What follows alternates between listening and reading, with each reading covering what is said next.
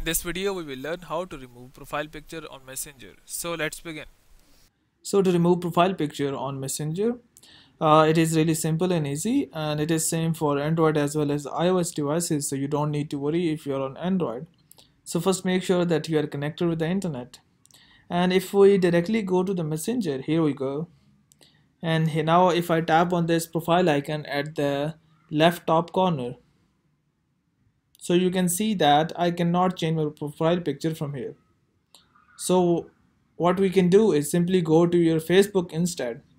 So here I go to my Facebook account. Now tap on these three lines at the right bottom corner. Now tap on view your profile at the top. Now tap on your profile icon. And here tap on view profile picture. So here we go now tap on these three lines at the right top corner.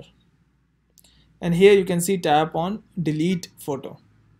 Now tap on delete photo and it says are you sure you want to delete this photo it will also delete the post. So tap on delete and once you tap on delete the photo will be deleted from your Facebook as well as the messenger and your profile picture will be removed from messenger as well as your Facebook account so uh, the profile picture is same for your Facebook account as well as messenger account. So here is the tweak that you can do to remove your profile picture on messenger.